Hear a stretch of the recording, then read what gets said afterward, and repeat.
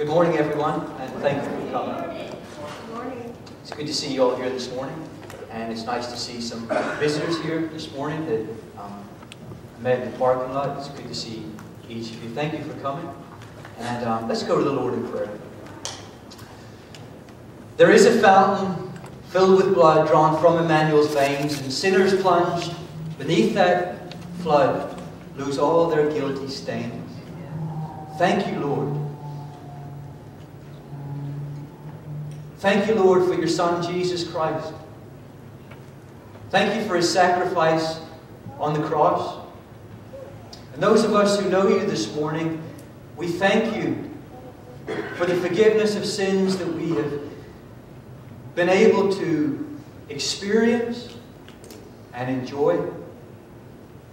For those who are among us this morning, Lord, who have not yet experienced that, we thank you for their presence with us this morning. And Lord, we pray that you would make us a blessing to them today. And Lord, that you would minister to each of us. Thank you, Lord, for Sunday school. Thank you for those teachers who study each week and provide something from your word. We thank you for our classes, For the people that you bring out faithfully each week.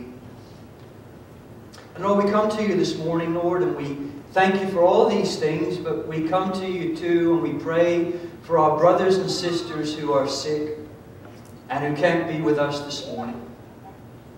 As we do that, Lord, we remember Christina Ramos, Lord, and we ask, Lord, that you would be with her in her hospital room.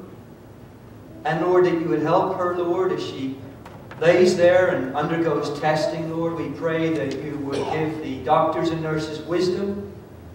And Lord, that you would help them to treat Christina. We pray too, Lord, for our brother Phil.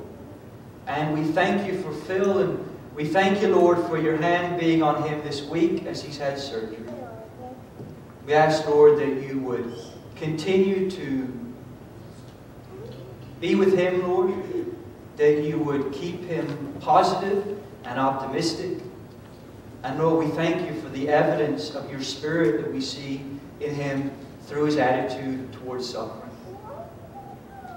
Father, we thank you for your word this morning. We pray that you would be with us, Lord, as we read it. Father, that you would help me to be a blessing to your people this morning as I deliver the message. Father, I pray that I would speak clearly, simply, and in a way that people would understand. Be with those who will listen, Lord.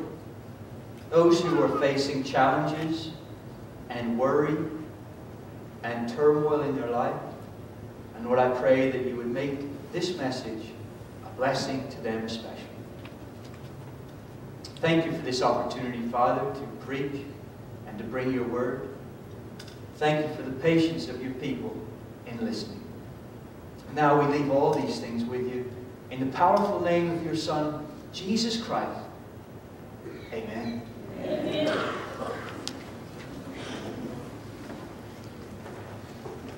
I, I want to read this morning from the book of Psalms, and it's Psalms 46. And it goes like this God is our refuge and strength, an ever present help in trouble. Therefore we will not fear.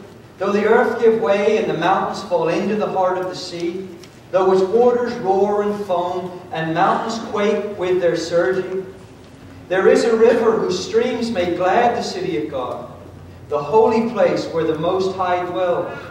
God is within her. She will not fall. God will help her at break of day. Nations are in uproar and kingdoms fall, but he lifts his voice, and the earth melts. The Lord Almighty is with us. The God of Jacob is our fortress. Come and see the works of the Lord, the desolations he's brought on the earth.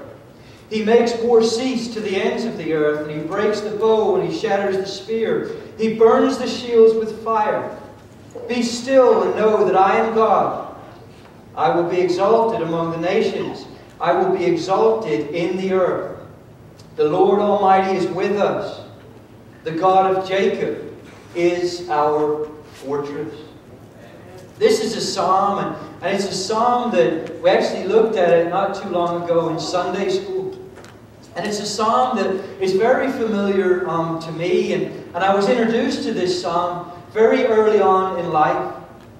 And as a, as a preacher's son, as a, as a pastor's child, I remember leaving uh, church on many Sunday evening, usually, services. And, and I remember there'd be seven of us in the car, and, and, and oftentimes my dad would have to stop by the hospital to visit with somebody who was uh, in the sick bed. And, and I remember that oftentimes he would take one or two of us into the hospital to visit with that sick person. And I often remember how things went. There'd be a little bit of chat right at the beginning and finding out the details on how that person was doing. But it wasn't very long before Dad would bring out his Bible and he would open up his Bible oftentimes to a psalm and many times to this particular psalm in Psalm 46. And, you know, I can remember as he read that, that psalm to that oftentimes scared, um, worried, sometimes a bereaved family, it seemed to be a, a, a real comfort to them. A comfort that couldn't be brought with the, with the conversation that preceded it, but only through God's Word, and, and it seems especially through this psalm. And these experiences that, that I had had when I had watched the, the comfort that this psalm had been to that bereaved or suffering person, they, they, they stuck with me. And it's often a psalm that today, when, when I have opportunity to go and visit the hospital, when I went yesterday, in fact, it was a psalm that, that I read to a lady there in the hospital, and the effect is still the same. It seems to bring a real comfort to the person to whom it's read. But it's also a passage of Scripture that I have found personally helpful is when there's been challenges or, or obstacles in my life. I think of um, especially two occasions where I was able to, to open up this psalm, and it's been a real blessing to me in my life personally. And it's been my prayer this week that as we look at this psalm and as we talk about it, that God will make this passage a real encouragement to anyone and everyone who may find themselves in trouble this morning at church. When we look at the passage, we see that it's David who's, who's writing this psalm. And we'll all remember David because early on in his life, David was faced with a big problem. He was faced with a, with a big obstacle, and he, one of his first big problems was, was when he stood to face that giant Philistine. You remember it was Goliath. And Goliath was only the beginning of the giants that were to come in David's life.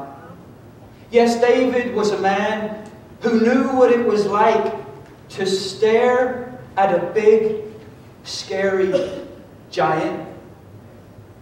David was, was a man who knew what trouble was. David knew what, what changing circumstances were. And as you look at the Psalms, it, it seems that, that David often suffered from depression.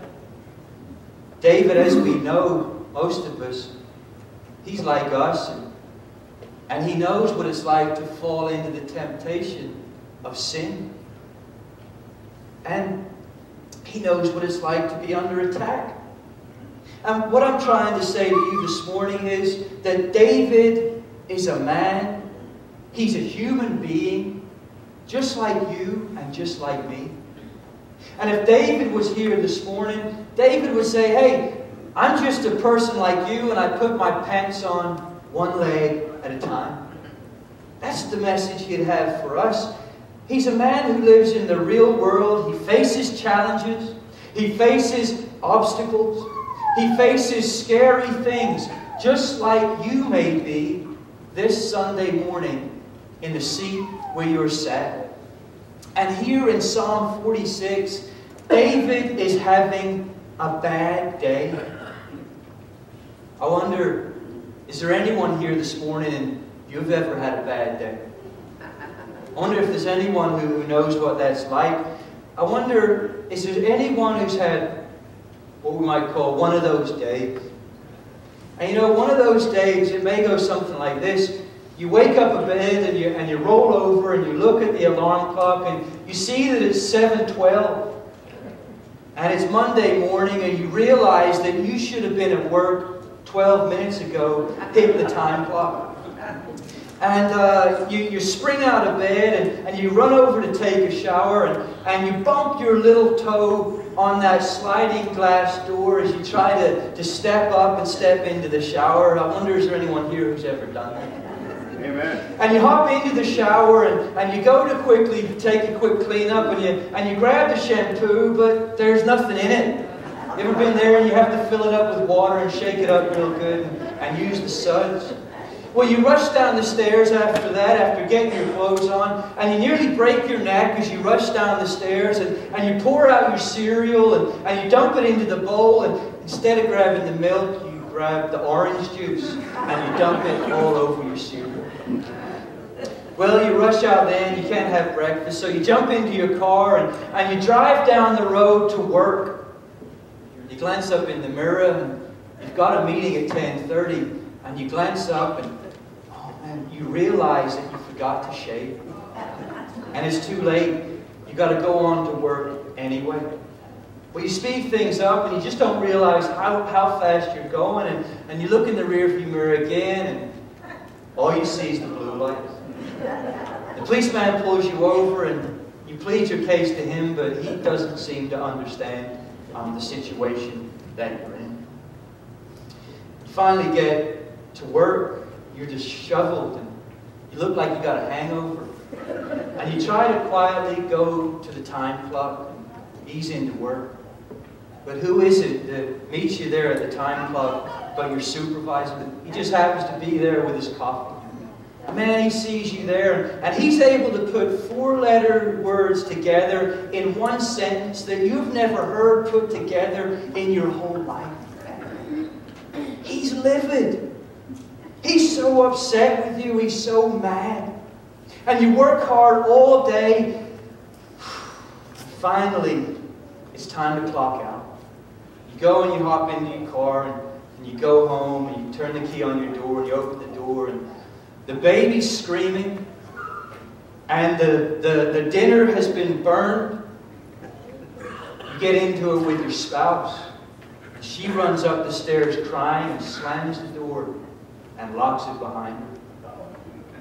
Walk into the kitchen just to see a card there with your name on it. You open it up. It turns out it's your 10th wedding, 10th year wedding anniversary. You go and you sit in your living room, you turn on the TV, and isn't it the truth? You just, you feel like giving up. And you feel like, how could things get any worse um, for me? You know what?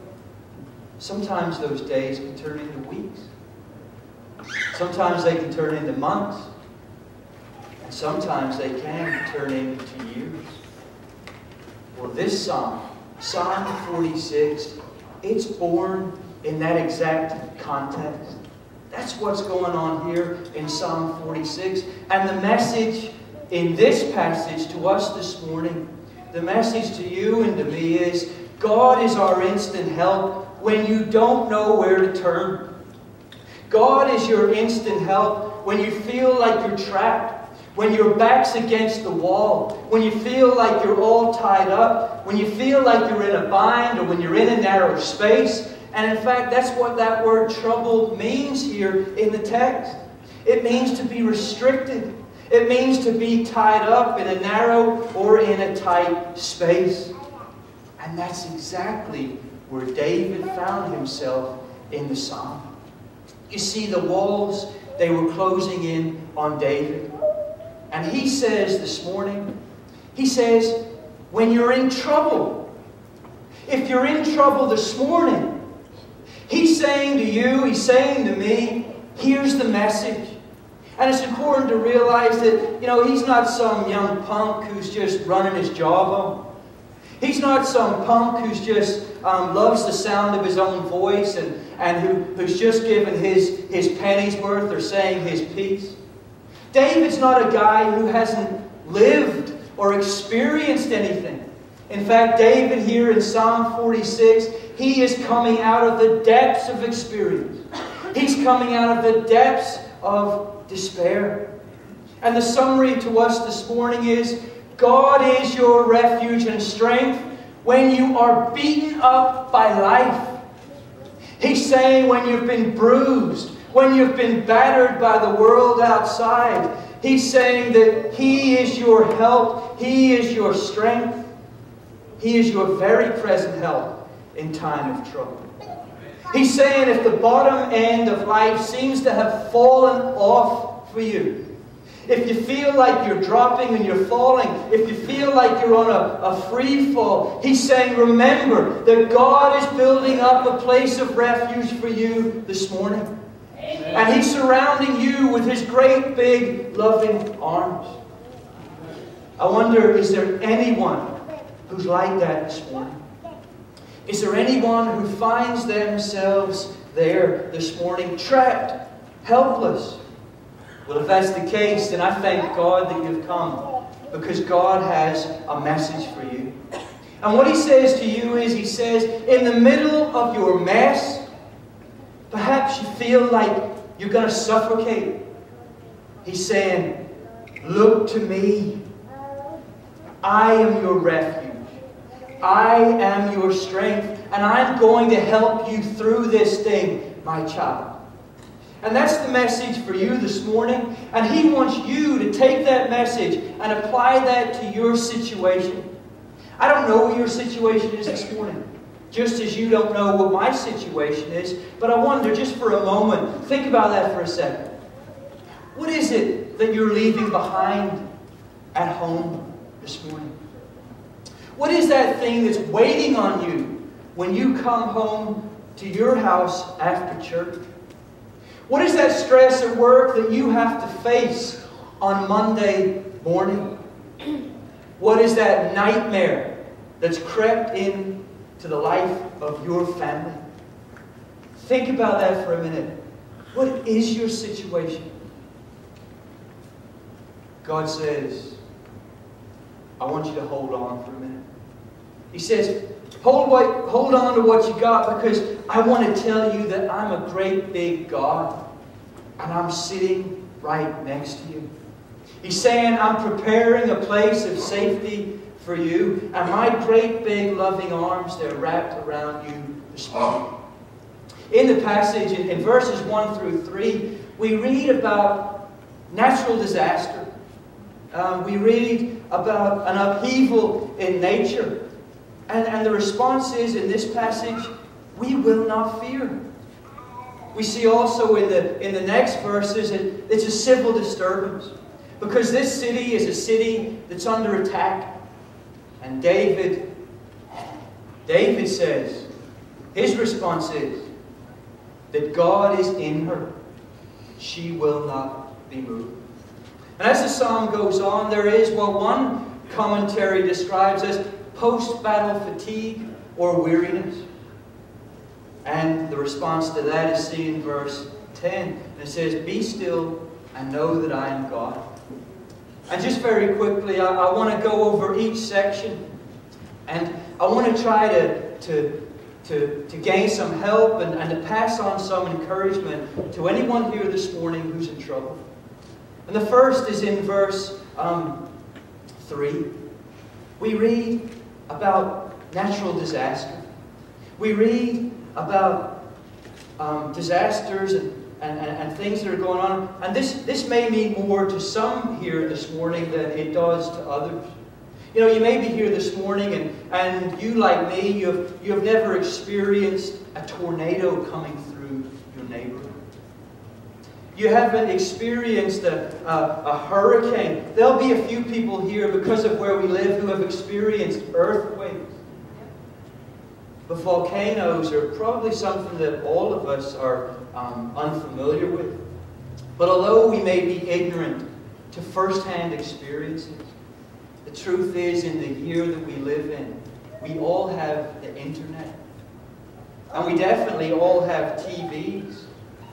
And we've been able to turn on our televisions and, and see those disasters that constantly trouble other lands and other states. It seems like more and more often today, we turn on the TV or we, we look at the internet and we see the havoc and we see the upheaval that natural disasters wreak. We've watched this last week of Louisiana We've seen the floodwaters there as they, as they rose, and we have seen 30,000 people, 35,000 people that had to be rescued. We've seen people going down the freeway in Louisiana on, on, on, in John boats. Yes, we've heard of, of loss of life there. We've watched on TV and we've seen tsunamis sweeping away cars, sweeping away entire communities and neighborhoods. We've watched the earth split open and, and, and earthquakes swallowing sometimes hundreds of people. We have watched images of volcanoes opening up and violently and, and fiercely throwing out red hot rocks and oozing lava that scolds anyone and anything that it comes in contact with. But what David says here is, he says, even in the midst of all that, he's saying, even in the midst of all this, I'm not going to fear. Even though the world falls down around me, I'll not be afraid. Maybe you're here this morning, and maybe you can't relate to those types of troubles. You know, it's one thing to see them on TV, it's another thing to experience these things firsthand. But there's someone here this morning. There must be somebody, and your world is caving. There must be somebody here this morning, and it's all coming down on top of you, and, and no one on your right or nobody on your left will know about it, but, but you do. And all those things that seem so permanent in your life, the mountains that surrounded you, the road that your feet walked on, they're all falling down all around you. It could be any number of things. It could be a relationship. It could be a career. It could be a marriage. It could be your health. It could even be your funds. It could be your faith. And this morning, this morning you're in the middle of troubled waters and the waves are tossing you around and it's coming up around your ears and it's splashing all around you and you think you're going to sink. The winds are shaking you. The storms are scaring you because everything that you trusted is cracking and breaking under your footsteps. The mountains are all falling before your eyes. You're in a crisis. You're in a state of emergency, and this morning the load feels to be too heavy, and you think that you're going to go under, you think that you're going to sink. Well, brother or sister, God is speaking to you this morning. Amen. And He's pulling alongside you this Sunday morning and He's saying to you, Look, my child, I am your refuge. I am your strength. I am your bridge over troubled water. I am your shelter from the storm. I am your strength in this trouble, and I'm holding on to you, and I'm not going to let you go down. Amen. And He's coming alongside you this morning because He's going to help you. He's saying, child, I am your refuge and I am your strength and I am your very present help in trouble, but I need you to trust me. I need you to trust me through this thing. Amen. And if that's your situation this morning, if that's where you're at, If your world is turned upside down, if the tables have been flipped over in your life, then I want you to be reminded of verse 1. And I want you to keep on reminding yourself of verse 1. God is inviting you this morning to rest in His eternal embrace. And He's saying to you, hey, I'm a great, great, great big God. And I've got great, great, great big arms. And He's saying, they're around you, they're underneath you, and they're beside you, they're above you. And I'm not going to let you go out like that. Amen. In the passage, there's also a civil disturbance. In verses 4 through 7, David talks about the nations. He talks about the kingdoms. He says they're rising up against his little city.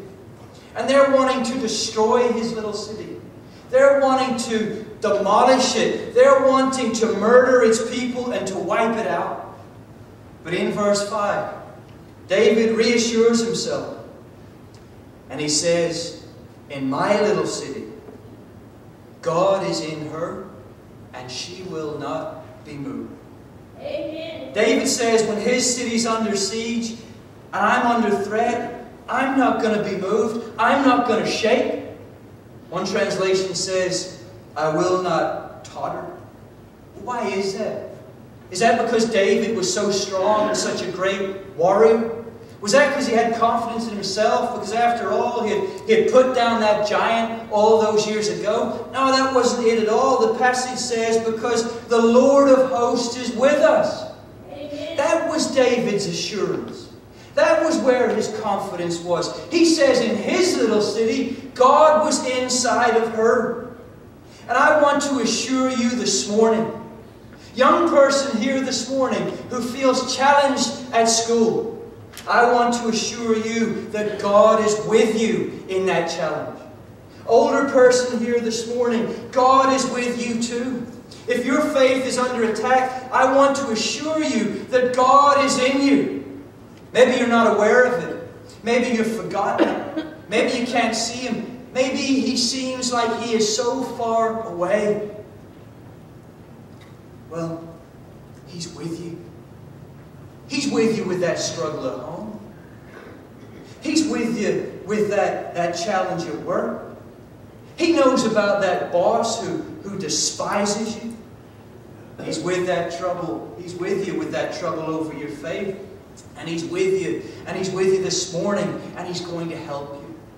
He says, hold on. Just hold on.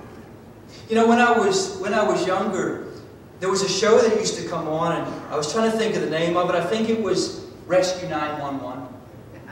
And it was like the first reality show that, that, that came on. I don't know if you had it here. We had it in Georgia.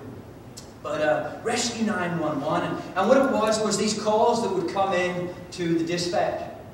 And I remember watching that, and one time in particular, they'd, they'd play the calls and they'd reenact them. And I remember one time in particular, there was a mother who had a baby. And she had that baby, and, and she was coming in from the car, and, and this, this stranger, this madman, came and approached her. He had a knife, and he was shouting and he was screaming at her and how he wanted to kill her. And the lady took her baby and she ran into her house, and she was just in time to close the door and to turn the deadbolt. She thought she was safe. But the man, the madman, began to beat on the door beat on the door so hard that she thought that he was going to come through. She ran upstairs and she went into the closet. She closed the door behind her with her baby and she had her, her cordless phone and she called 911. And then the call began. And that lady told the person what the problem was and she explained to them that somebody was breaking into her house. And there it all was on recording and you could hear the terror in the woman's voice. The lady on the dispatch lady got all the information. And she says, ma'am, I just need you to stay calm. I just need you to stay on the line. But as time went by, the guy came through the door and the lady screamed, He's in the house! There she was, hidden in the closet, and she said, He's tearing the place apart. He's screaming that he wants to kill me.